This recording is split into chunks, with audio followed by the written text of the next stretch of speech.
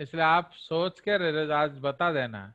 अगर नहीं बताया तो शाम का क्लास तो गयो सर ये सुशांत के रिलेटेड है तो? मुझे मालूम नहीं। अब वो तुमको खुद ढूंढना है। सर अब more the more options you seek the more classes you lose. It is better you don't sorry sir yes sir चले हाँ ऐसे यस सर बोलो। ना अब इसको Yes, ध्यान. देखिए ये एक बहुत इम्पोर्टेंट डायग्राम है। जो कि अदरवाइज़ आपको मिलना बहुत मुश्किल है, क्योंकि ये एनिमल फिजियोलॉजी का बुक का डायग्राम है। समझ रहे हो?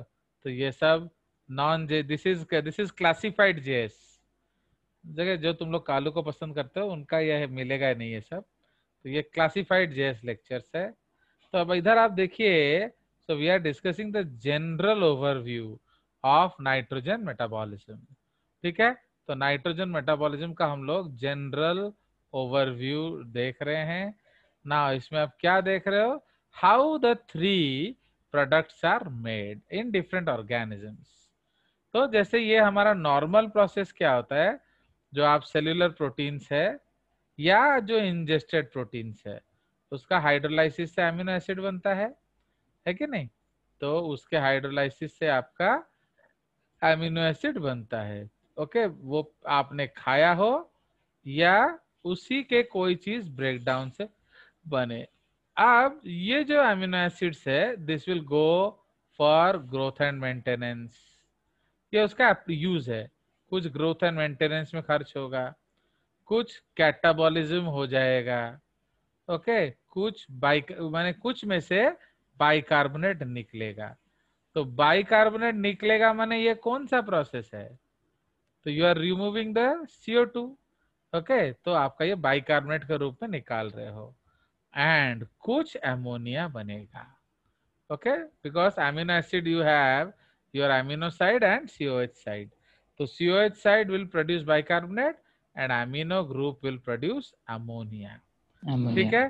तो ये जो एमोनिया है इसका अलग अलग एप्लीकेशन है।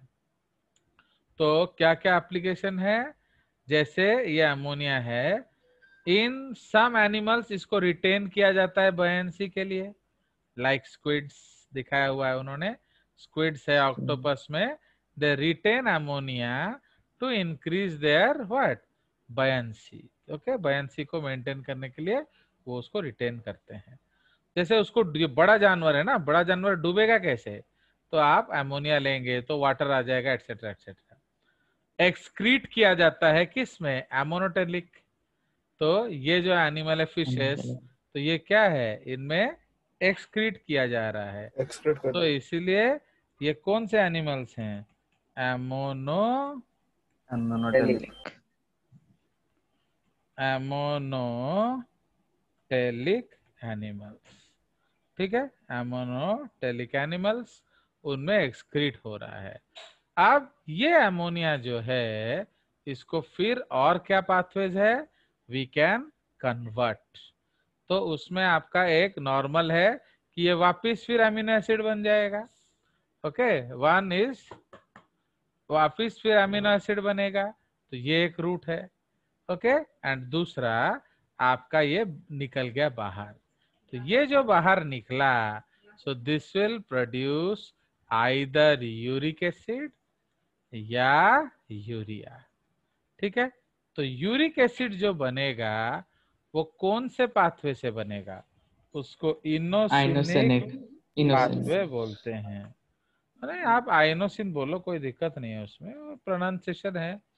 तो this is called inosinic pathway okay so this is called inosinic pathway and ये जो है ये आपका यूरिया साइकिल है।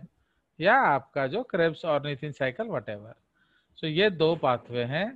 ना उसके बाद ये जो यूरिया है ये एक्सक्रीटेड होता है। तो ये कौन से एनिमल होंगे? यूरियो यूरियोटेलिक देखो ना। यूरियोटेलिक यूरियोटेलिक एंड ये जो हैं ये urico uricotelic okay these are all these are all actually patented js uh, figures. Even है और किसी को सपने में भी नहीं मिल सकता है। एंड तो अब देखिए इसमें क्या हो रहा है? ये रिटेन किया जा रहा है। तो क्यों रिटेन किया जा रहा है? एज एन ऑस्मोलाइट ओके क्योंकि ये शार्क है। शार्क में प्रॉब्लम क्या होता है? It can not what it can not stop swimming why The bladder because absent. it does not अच्छा, have bladder air bladder Air it has bladder. no air bladder so it has to swim and it is very prone and it's a huge animal and it is very prone to endosmosis exosmosis तो generally जो लोग marine conditions में रहेंगे उसे एक्समोसिस हो जाएगा जो shark एस्टोराइन conditions में आएँगे उसमें. एंडोस्मोसिस होगा। तो बड़ा प्रॉब्लम है। इसीलिए वो लोग यूरिया को अपने टिश्यूज में रखते हैं।